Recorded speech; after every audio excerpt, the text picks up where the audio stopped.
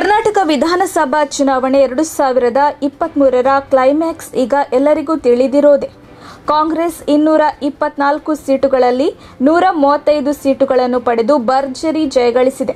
BJP ಅರವತ್ತಾರು ಸೀಟುಗಳಲ್ಲಿ ತೃಪ್ತಿ ಪಡೆದುಕೊಂಡು ಹೀನಾಯ ಸೋಲನ್ನು ಕಂಡಿದೆ. ಉಳಿದಂತೆ ಜೆಡಿಎಸ್ ಹತ್ತೊಂಬತ್ತು ಸ್ಥಾನ, ಇತರರು ನಾಲ್ಕು ಸ್ಥಾನ ಗಳಿಸಿದ್ದು, ಅತ್ಯಧಿಕ ಜನಬೆಂಬಲ ಈ ಬಾರಿ ಕಾಂಗ್ರೆಸ್ಗೆ ಸಿಕ್ಕಿದ್ದು ಕರ್ನಾಟಕದಲ್ಲಿ ಕಾಂಗ್ರೆಸ್ ಅಧಿಕಾರ ಸ್ವೀಕರಿಸಲು ಕ್ಷಣಗಣನೆ ನಡೆಯುತ್ತಿದೆ.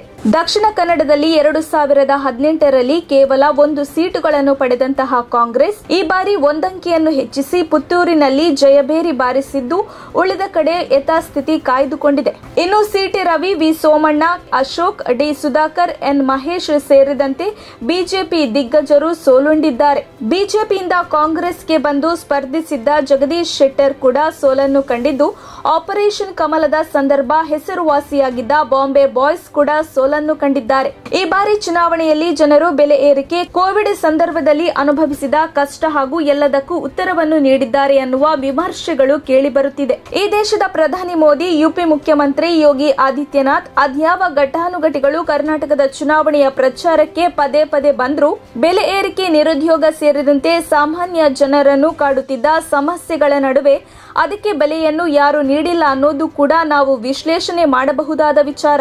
ಈಗ ಕಾಂಗ್ರೆಸ್ನ ಮೇಲೆ ಭರವಸೆ ಇಟ್ಟು ರಾಜ್ಯದ ಜನ ಮತ ನೀಡಿದ್ದಾರೆ.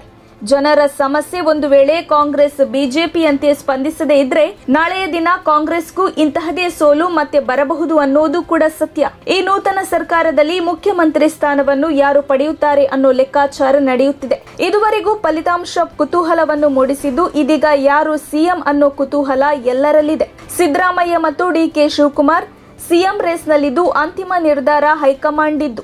ಹೀಗೆ ಕರ್ನಾಟಕದಲ್ಲಿ ಮತ್ತೆ ಕಾಂಗ್ರೆಸ್ ಅಧಿಕಾರಕ್ಕೆ ಬಂದಿದ್ದು, ಕಾಂಗ್ರೆಸ್ ಹೇಗೆ ಕರ್ನಾಟಕ ರಾಜ್ಯದ ಅಭಿವೃದ್ಧಿ ಮಾಡುತ್ತದೆ, ಇಲ್ಲಿಯ ಜನರ ಆಶೋತ್ತರಗಳಿಗೆ ಹೇಗೆ ಸ್ಪಂದಿಸಲಿದ್ದಾರೆ ಅನ್ನೋದನ್ನ ನೋಡಬೇಕಿದೆ.